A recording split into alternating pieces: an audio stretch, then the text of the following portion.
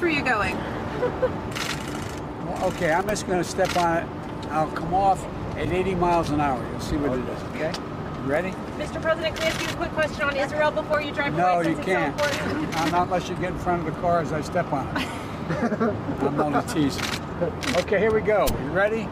See it, sir.